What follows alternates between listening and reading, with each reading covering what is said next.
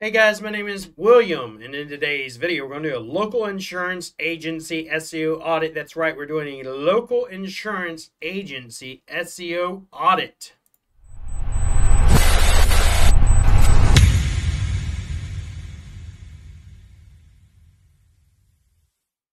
So hey guys, my name is William. In today's video, we're going to do a local SEO audit for a insurance agency. If you would like for me to audit your website and send you over any of these audit reports done for you, just comment below and I'll do so. If you would like maybe my SEO audit spreadsheet, comment below and ask me for it and I'll give that over to you. So let's go ahead and dive right in. So this is a local SEO client for a smaller area, smaller city. And we're going to take a look at it. Overall, the website's decent. Um, you have a sticky header, which I love, and if you've watched my videos enough, you know I say always, always, always have your menu follow you when you scroll. One thing you need is you have your get a request quote button here.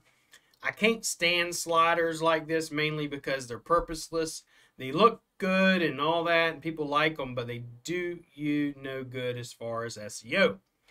On top of not doing you good for SEO, they usually hurt your core vitals and page speed, stuff like that. That being said, I want your call to action instead of here, right? I want it here, but I also want it up here in the top right hand side. Why? Because when people scroll, I want it to follow them. So anytime they're scrolling, I want that button to follow them, right? Overall, I love the site because it's got call to actions everywhere. Get a quote, get a quote, you know, stuff like that.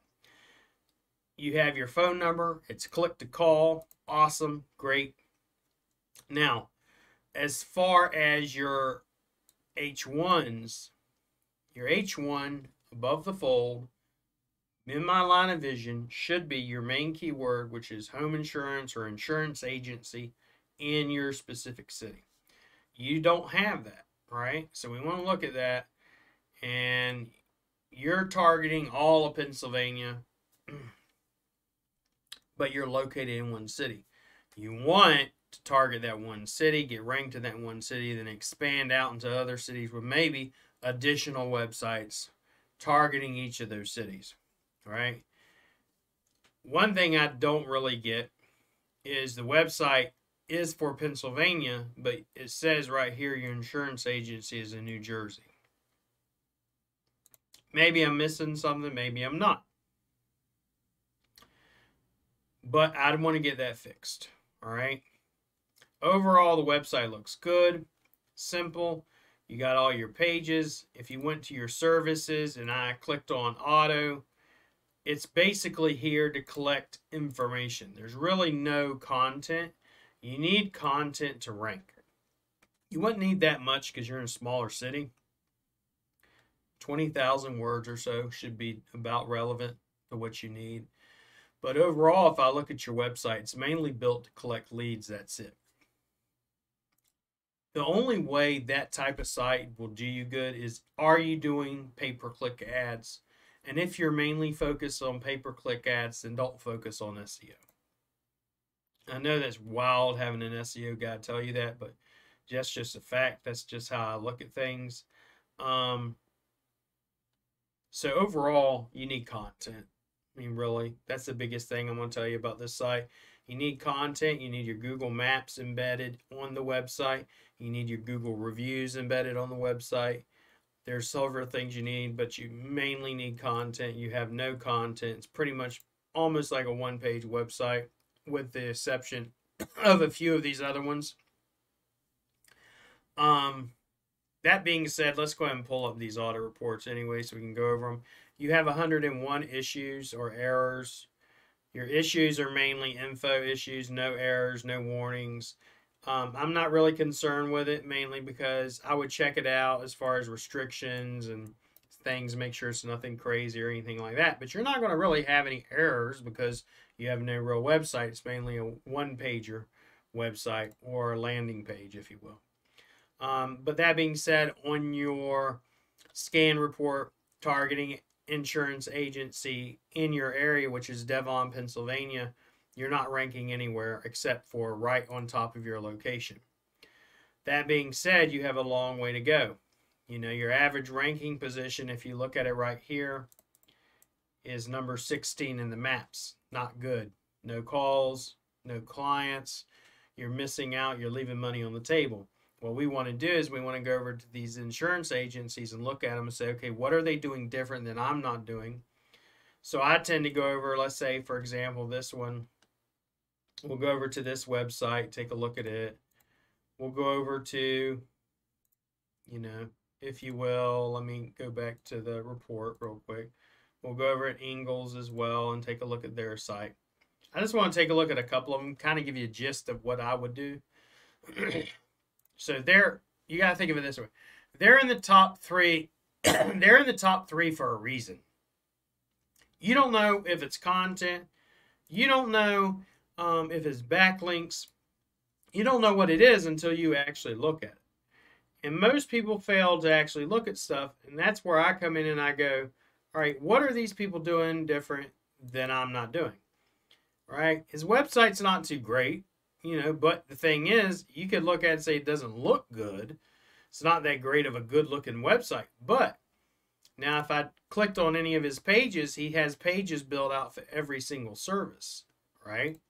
So what I want to do is I want to go, okay, what is he doing that I'm not doing? Number one, he has content. You know, content. He has additional pages. He has YouTube. His YouTube videos are optimized. Okay. He has a full, complete website. Right? If we look at how many pages does he have, let's see if we can pull that information for you real quick. Yeah, so I can't pull it, but let's see if it's anywhere else. There we go. It's right there. So in his sitemap, you can see how many products he has, how many quote pages he has, how many main pages or his foundational content he has, such as claims, adjustment, careers, uh, insurance claims, how much. It has his blog, his blog posts.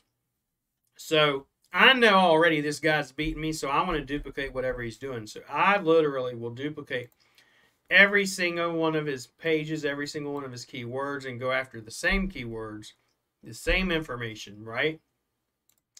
I rewrite it, of course. I want to write it based upon what, in my own words, my own structure, my own images, everything. But he's doing something right. So I look at and go, okay, this guy's got hundreds of pages. I make hundreds of pages. I make a lot of content just like him, right? I do my internal linking just like him.